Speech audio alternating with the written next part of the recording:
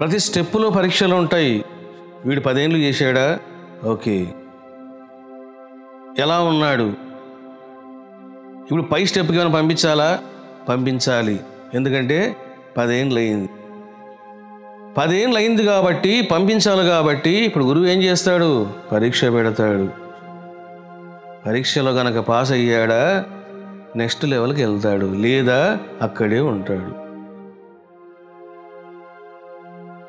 ఉన్న భక్తితో గనక నిలబడ్డాడా? అలాగే ఉంటాడు లేదా? ఇంకా దిగజారిపోతాడు. చూశారా? Up and downs. ఇవన్నీ ఉంటాయి. చాలామంది చూడండి ఒక మూడేళ్ళు సేవలు చేయడం నాలుగో సంవత్సరంలో వాళ్ళు కనపడరు.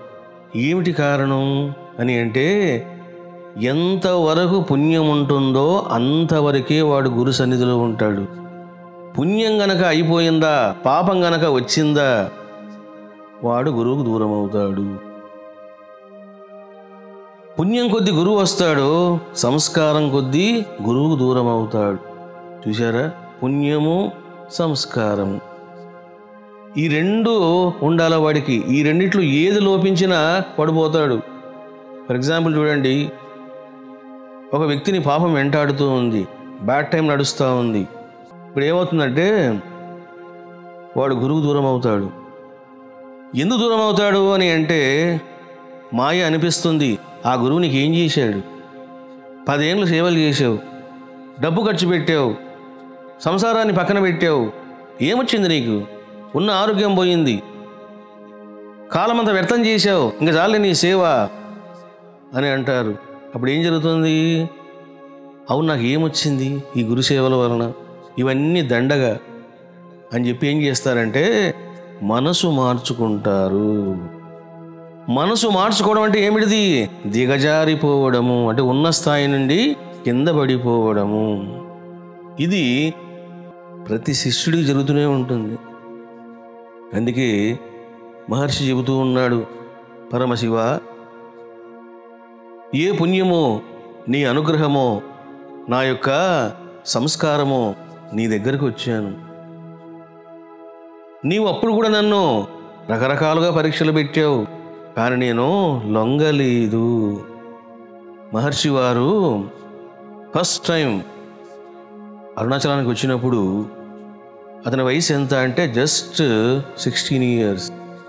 అటువంటి సమయములోన రత్తమ్మ అన్నటువంటి ఒక వేశ్య మహర్షిని చూసింది. ఆ అమ్మాయి వయసు ఎంత? Eighteen years. ఇక అమ్మాయి మహర్షిని చూసి దివ్య ప్రేమలో పడింది. ఆ అమ్మాయి మోహంలో పడలేదు. ఎవరి మహాత్ముడు ఇంత చిన్న వయసులోన గోచి కట్టుకొని చక్కగా ధ్యానం చేస్తున్నాడే. ఒక విగ్రహంలాగా శోభాయమానంగా ప్రకాశిస్తున్నాడే అని ఏం చేసింది? మహర్షి వెంటబడింది.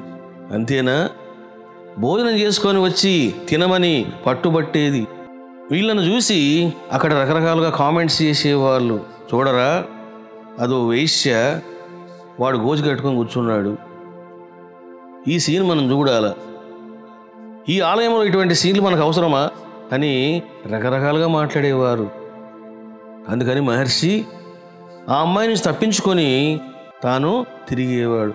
ఇదే విధంగా రత్నమ్మ అన్నటువంటి ఒక ధనవంతురాలు కూడా మహర్షి వారిని దివ్య ప్రేమతో కొలిచింది తన ఇంటికి రమ్మన్నది ఈ కర్మ ఏమిటి మీకు? హాయిగా నా ఇంట్లో కూర్చోండి మీరు ధ్యానం చేయండి. మీకు సకల సౌకర్యములు నేను కలిగిస్తాను అన్నది. మహర్షి కనీసం కన్నెత్తి కూడా చూడలే. ఆమె తెచ్చిన వస్తువులు కూడా ముట్టుకోలేదు. కనీసము నైవేద్యం కూడా తినలేదు. చూశారా? అంటే కరుడు గట్టినటువంటి మాయను మోహాన్ని జయించాలి అంటే వజ్రము లాంటి గురుభక్తి ఉండాలా నిష్ట ఉండాలా? లేకపోతే వాళ్ళు పైకి పోలేరు. ఇప్పుడు మహర్షి వారు ఆశ్రమంలో ఉన్నారు. మరి ఆశ్రమానికి రకరకాల మనుషులు వస్తారు. చిత్ర విచిత్రంగా ఉంటారు. రకరకాల భావాలతో ఉంటారు. వాళ్ళ భావాలు కూడా సిద్ధుల మీద పనిచేస్తూ ఉంటాయి. చూసారా సిద్ధత్వంలో వెళ్ళే కొద్దీ చాలా సమస్యలు ఉంటాయి మీ తెలివు ఇప్పుడు ఫర్ ఎగ్జాంపుల్ నేను ఒక ఏకాంత ప్రదేశానికి వెళ్ళి ధ్యానం చేద్దాము అనుకొని బయలుదేరాను. నా కారు పోతా ఉంది. నా కారు వెనకాలనే ఇద్దరు వ్యక్తులు వస్తూ ఉంటారు. వాళ్ళు ఎవరు కూడా నాకు తెలియదు. వాళ్ళు జస్ట్ వెళ్తూ ఉన్నారు అంతే. వాళ్ళ మనసులో ఏమున్నది ఇప్పుడు? మంచి సినిమా చూడాలి. ఫైటింగ్లు ఉన్నాయంట. పాటలు ఉన్నాయంట. సినిమా బ్రహ్మాండంగా ఉందంట. అన్నటువంటి భావాలతో వాళ్ళు ఉంటారు. ఎప్పుడైతే వాళ్ళు అలా నన్ను దాటి వెళ్తారో ఆ ఏమి ఏకాంతంది? ఒరే ఆ సినిమా హాల్ ఏమాడుతుంది ఆరాడు పోని చూసారా అసలు ఆ వైబ్రేషన్ ఇవ్వబడిది అది నాకెట్లా వచ్చింది? నేను కొండెక్కకుండగా సినిమా కింద పోతున్నాను. ఇదంతా ఎవరు ఆడిస్తున్నారు అని అంటే దట్ ఈస్ కాల్డ్ వైబ్రేషన్ అంటే సిద్ధత్వం పెరిగే కొద్దీ బాధలు పెరుగుతూ ఉంటాయి. వాటిని జయించాల. లేదనుకోండి మళ్ళీ వాడు అక్కడే ఉంటాడు. చూడండి ఒక మంచి అనుభవం చెప్తాం మీకు శివరాత్రి నాడు ప్రోగ్రాం అయిపోయింది విజయవాడలో. పదకొండు అడుగుల శివలింగాన్ని తీసుకుని వెళ్తున్నాం నిమజ్జనం చేయాలా అని. నేను చాలా హుషారుగా ఉన్నా నాకు నిద్ర కానీ ఏం కానీ లేదు. భవానీ అక్కడ కూర్చొని ఏదో మాట్లాడుతూ ఉంది. నేను చాలా యాక్టివ్గా ఉన్నాను. అసలు నిద్ర అనే ఛాయ కూడా నాకు కనిపించడం లేదు. ఉత్సాహం కూర్చొని ఉన్నాను. భవాన్తో మాట్లాడుతూ ఉన్నాను. సెకండ్స్లో ఇంతలో వెళ్ళిపోయాను భవానీ అంది నానా ఇదేమిటి ఆశ్చర్యం? నువ్వు సమాధిలోకి పోగా నేను చూడలేదు కానీ నిద్రలోకి పోగా చూశాను. ఇది ఏమిటి నాతో మాట్లాడుతూనే ఉన్నావు? అలా వెళ్ళిపోయినావు? అన్నది. నాకు వెంటనే డౌట్ వచ్చింది. అసలు ఎందుకు వచ్చింది?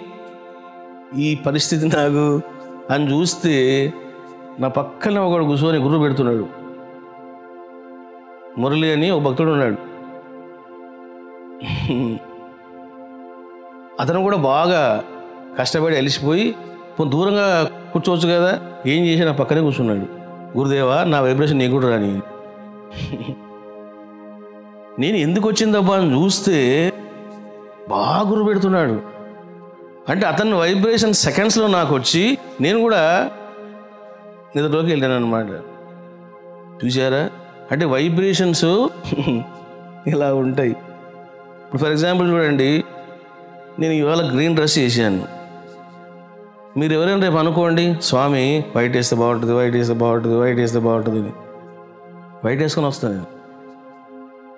ఎందుకంటే షర్ట్ వేసుకుంటాను ఏంటో అనీజీ వైట్ వేస్తే బాగుంటుంది నాకు అని ఒక ఆలోచన నాకు వస్తుంది. ఇట్లా నేను రోజుకొక రెండు మూడు డ్రెస్సులు పోతూ ఉంటాయి. వెయ్యడం తీసేయడం ఎందుకు అని అంటే ఎవరు అనుకుంటున్నారా నాయన వేసి? అంటే ఇటువంటి భావాలు కూడా వాళ్ళలోకి ఎంటర్ అవుతాయి. దానివలన వాళ్ళు తప్పులు చేస్తున్నారేమో అనుకుంటారు లోకం తప్పులు కాదవి. అది కర్మ స్వీకరణ అని అంటారు. కర్మ స్వీకరణ. అది మంచి కావచ్చు చెడు కావచ్చు స్వీకరిస్తుంది అది. ఇప్పుడు అందుకే చూడండి ఇప్పుడు చాలా ప్లేసుల్లోన ఇప్పుడు కారులో పోతున్నాం అనుకోండి జస్ట్ ఒక పావు గంటనే కారులో నలుగురు కూర్చుంటారు. ఎవరికైనా చిన్న జలుబు ఉందా దగ్గుందా పదే పది నిమిషాల్లో నాకు వచ్చేస్తుంది అది. ఏమిటి కారణం అది అని అంటే ఇమ్మీడియట్గా నా యొక్క ఆర అది తీసేసుకుంటుంది. అంటే ఇవన్నీ ప్రాబ్లమ్స్ ఉంటాయి. ఇవన్నిటిని ఫేస్ చేసి వాడు దాటాలి. దాటితేనే ముందు పోతాడు. లేదనుకోండి అక్కడే ఉంటాడు. ఇక్కడ మహర్షి ఏమంటున్నాడు? నేను స్త్రీలకు బానిసను కాకుండా చూడు. మోహానికి గురి కాకుండా చూడు. చూశారా?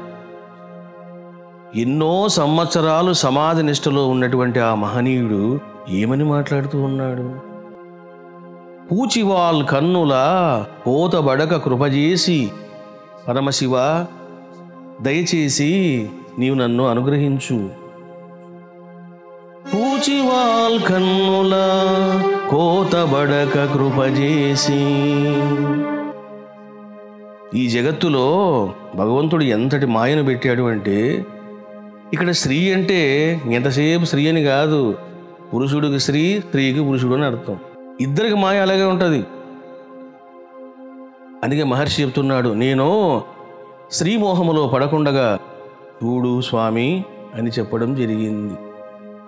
మరి చిన్న విషయాలు? ఇవన్నీ కూడా చిన్న విషయాలు కావు. చూడండి బాబావారు గురుస్థాన్లో కూర్చునేవారు. అదేవిధంగా చావడిలో కూడా ఆయన రోజు విడిచి రోజు అక్కడ నిద్రించేవారు. మరి బాబా ఏం చేశాడు? చావడిలో ఒక రూములో స్త్రీలకు ప్రవేశం లేదు. వెంకయ్య స్వామి స్త్రీలను చూడగానే పారిపోయేవాడట. ఇదేంటి స్వామి ఇలా పారిపోతున్నాడు? అంటే మాయ వస్తుంది మాయ వస్తుంది అనేవాడట. చూసారా అంటే స్త్రీ అంటే ఏమిటిది? శక్తివంతమైనటువంటి ఆయుధం ఆమె. అందుకే మనం ఎన్నో పాటలు వింటూ ఉంటాం. సినిమా పాటలు కూడా ఎన్నో ఉన్నాయి. నిలువవి వాళ్ళు కనులదానా నిలువవి వాళ్ళు వాలు కనులదాన అన్నాడే కానీ మెల్లకనుదాన అన్నాడా? చూసారా ఇంక మెల్లగానే ఉందనుకోండి. వద్దులేమ్మా ధ్యానం చేసుకుంటా. మనకు అదే కరెక్ట్. చూసారా ప్రాపంచికంగా ఓడితేనే వాడు ఆధ్యాత్మికంగా గెలుస్తాడు. ఏమయ్యా నీ భార్యకు ఆలుకన్ను లేవయ్యా? మెల్లకన్ను ఉందనుకోండి నా కర్మరా? అందుకని వాడు ఏం చేస్తా కన్ను ధ్యానం చేసుకుంటా చూసారా అక్కడ మెల్లకండు ఉంటే ఇటు ధ్యానం చేస్తున్నాడు. వాళ్ళు కనులే ఉన్నాయనుకోండి ఇంకా ధ్యానం చేయడు.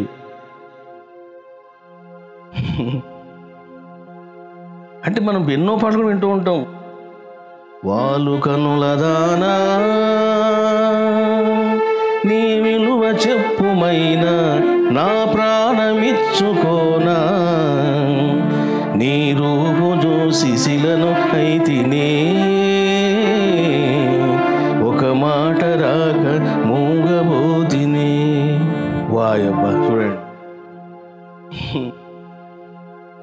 పాట ఎంత అద్భుతంగా రాశాడు ఈయన ఏదో దేవుడి మీద పద్యం రాసినట్టు రాసినాడు. చూసారా దీన్నే మాయా విలాసము అంటారు.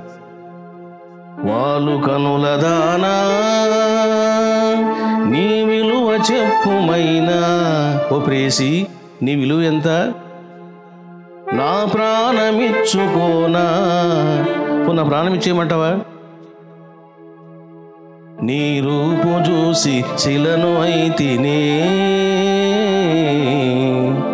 అసలు నిన్ను చూసి నేను శిలనైపోతుని. నువ్వు బ్రహ్మం గారా అంటే వీడు శిల అవుతున్నాడు. చూసారా శిల అంటే ఏమిటిది? జడము. జడము. నువ్వు బ్రహ్మం గారా బ్రహ్మం గారా అని శాస్త్రాలు చెప్తూ ఉంటే నేను శిలను అయితేనే మరి శిలవు కావా? ఒక మాట రాక మూగబోతిని. ఏమిటిదంతా అని అంటే మాయా విలాసం. అంటే ఇవన్నీ ఎందుకు వస్తున్నాయి అని అంటే మనము మాయా మాయా మాయా అంటాం. ఏమిది మాయా? ఈ సృష్టిలో ఎన్నో వ్యక్తులలో విషయాలలో మాయ పనిచేస్తూ ఉంటుంది. నువ్వు కొలుకుదు గలగల నడుస్తూ ఉంటే నిలువది నా మనసు. చూసారా ఆమె నడిస్తే వీడికి మనసు నిలవదట. చూసారా అంటే మనసు చెలించడము. మనసు శిల కావడము మనసు మూగబోవడము. ఏమిటిదయ్యా ఇదంతా? అని అంటే మాయా విలాసము. చూడండి తత్వం చెప్తే ఇంత ఆనందంగా వింటారా? అంటే మాయ అనేది అంత భయంకరంగా ఉంటుంది. ఏ విధంగా అయితే ఒక అబ్బాయి ఒక అమ్మాయిని చూసి ఆమె యొక్క సౌందర్యానికి దాసోహమయ్యి మోహానికి గురయ్యి ఛీ ఈ జీవితం నాకు అవసరం లేదు నువ్వే నాకు కావాలి అని ఎప్పుడైతే వాడు అనుకుంటాడో ఏ విధంగా భావిస్తాడో ఆ విధంగా శివుడి మీద సిద్ధ గురువు మీద కలగాలి. అప్పుడు వాళ్ళకు దివ్య ప్రేమ కలిగింది అని అర్థం. స్వామి చెప్తూ ఉన్నారు. కూచివాల్ కన్నుల కోతబడక కృపజేసి నంజేరి కావు అరుణాచల. నన్ను చేరి కావు అరుణాచల. ఇక్కడ రెండు సాధనలు ఉన్నాయి నన్ను చేరి ఇదిగో నువ్వు గనక నాకు దూరంగా ఉన్నావా? నువ్వు గనక నాకు భిన్నంగా ఉన్నావా? నేను మాయలో పడతాను. కాబట్టి ఈ మాయ నాకొద్దు. శివ నన్ను చేరి కావు. నన్ను చేరుము నాలో ప్రవేశించుము. మరి శివుడు ఎక్కడున్నాడు? దూరంగా ఉన్నాడా? దూరంగా లేడు. మరి ఎందుకు ఆ మాట మాట్లాడుతున్నాడు? అసలు మనసుకు బ్రహ్మానికి సంబంధం ఏమిటని చూసామనుకోండి. అసలుకి ఈ మనస్సు ఎక్కడ పుడుతా ఉన్నది? ఎక్కడ రమిస్తూ ఉన్నది? ఎక్కడ మళ్ళీ పడిపోతున్నది అని చూస్తే దానికి మళ్ళీ ఆధారం బ్రహ్మమే. అలా ఎక్కడ పుడుతుంది? సముద్రంలోనే పుడుతుంది. అది ఎక్కడ ఎగిసిపడుతుంది? సముద్రంలోనే ఎగిసిపడుతుంది. ఎక్కడ లయిస్తున్నది? సముద్రంలోనే లయిస్తున్నది. అంటే ఎప్పుడైతే మనస్సు చెలించిందో జీవుడు చెలిస్తాడు. ఎందుకు? రెండు ఎద్దులవి మనస్సు జీవుడు. ఈ రెండింటికి ఒకే కళ్యం ఉంటుంది. మనసు కనుక అటు పోయిందా అదేం చేస్తుంది? ఈ జీవుని లాక్కెళ్తుంది దా అని చెప్పేసి. ఇప్పుడు చూడండి రెండు ఎద్దులు పోతున్నప్పుడు ఒక ఎద్దు కనుక మూడు బాలదనుకోండి అది లాక్కెళ్తూ ఉంటుంది. ఇదేం చేస్తుంది? ప్రయత్నం చేస్తుంది. శక్తి చాలలేదా? వెళ్ళిపోతుంది. అదేవిధంగా ఎప్పుడైతే మనసు చెలిస్తుందో జీవుడు కూడా చెలిస్తాడు. జీవుడు చెలించకూడదు జీవుడు వెళ్ళకూడదు అని అంటే అతనికి శక్తి కావాలి కెపాసిటీ కావాలి పవిత్రత కావాలి బ్రహ్మంతో బంధం కావాలి. అందుకని మహర్షి అంటున్నాడు నన్ను చేరి కావు. హే పరమశివ నీవు నన్ను విడిచి వెళ్ళమాక. నీవు నా దగ్గరే ఉండు. ఒక క్షణం కూడా నన్ను విడిచిపెట్టి వెళ్ళమాక. నన్ను కావు అరుణాచల కావు అని అంటే రక్షించు. ఎవరిని రక్షించాలి? అని అంటే మనసు వెంట వెళ్ళే జీవుడిని రక్షించు. ఇప్పుడు ఎవరు మాట్లాడుతున్నారు? అక్కడ ప్రార్థన చేసేది ఎవరు? వేడుకునేది ఎవరు? అహంకారమే. అహంకారమే వేడుకుంటుంది. నన్ను రక్షించు అని బ్రహ్మం అంటుందా? బ్రహ్మం అనదు. మరి ఎవరంటున్నారు? అహంకారం అంటూ ఉన్నది. నంజేరి కావు అరుణాచల. జ్ఞానసిద్ధి ఎప్పుడైతే కలుగుతుందో మనసు సర్వనాశనం అవుతుంది నో టీచింగ్ నో శిష్య నో ఆశ్రమ no relations. Everything will vanish మొత్తము నాశనమైపోతాయి. మనస్సు ఉంటేనే అన్నీ ఉంటాయి. మనసు కనుక పోయిందా అన్నీ పోతాయి. ఏముండవు. చూడండి సమాధి అవసరం లేదు. మీరు కొంతమంది రాజకీయ నాయకులను పరిశీలిస్తే ఈ విషయం మీకు అర్థమవుతుంది. చాలామంది చూడండి డెబ్బై ఐదు సంవత్సరాలు ఎనభై సంవత్సరాలు తొంభై సంవత్సరాలు జీవించి ఉన్న రాజకీయ నాయకులు కూడా ఉన్నారు. ఎనభై సంవత్సరాలు రాగానే వాళ్ళకి చెవులు వినపడవు. వీడు అరిసి అరిసి అరిసి అలిసిపోతాడు తప్ప ఆయనకి వినపడవు. కళ్ళు కనపడవు. బుర్ర పనిచేయదు. జ్ఞాపకం ఉండదు. ఏమిటి కారణం అని అంటే అక్కడ మనస్సు తన శక్తులను కోల్పోయింది. అందువలన ఇంకా అతను ఏం మాట్లాడతాం లేవా? వదిలేయండి అంటూ ఉంటారు. చూసారా అంటే మనసు యొక్క శక్తులు క్షీణిస్తేనే అతనికి ఏమి అర్థం కాదు. అతను వదిలిపెట్టండి. ఆయన వ్యవహారానికి పనికిరాడు అని ఏ విధంగా ఉపేక్షిస్తారో ఎప్పుడైతే నీ మనస్సు సర్వనాశనమైందో వేర్ ఇస్ ద రియాక్షన్ స్పందించేవాడు ఎక్కడున్నాడు? స్పందించేవాడు నాశనమయ్యాడు. ఒక వ్యక్తిని తీసుకెళ్ళి జైలు పడేశారు. పదేళ్ళ ఉండరా అని. వాడు ఆరు నెలలకే చనిపోయాడు. చనిపోగానే ఇంక శవాన్ని ఏం చేస్తారు? బయట పాడేస్తారు. ఎందుకు? శిక్ష అనుభవించే వాడు లేడక్కడ. వాడు పోయాడు. అదేవిధంగా ఎప్పుడైతే జీవాత్మ అహంకారము మనస్సు ఇవి సర్వనాశనమవుతాయో నో రియాక్షన్. ఏం జరుగుతుందో తెలియని దివ్య స్థితి. రెండవ వస్తువు లేని స్థితి ప్రపంచాతీత స్థితి మోహాతీత స్థితి మాయాతీత స్థితి మనోతీత స్థితి. అన్నింటికి అతీతంగా ఉన్నటువంటి స్థితిని కలుగుతుంది. దాన్ని ఏమంటారు? జ్ఞానసిద్ధి అని అంటారు. ఈ వీడియో మీకు నచ్చినట్లయితే like share and subscribe to our channel.